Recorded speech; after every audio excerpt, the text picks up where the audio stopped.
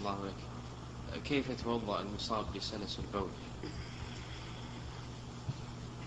المصاب بسلس البول نسأل هل ينقطع عنه أو هو مستمر؟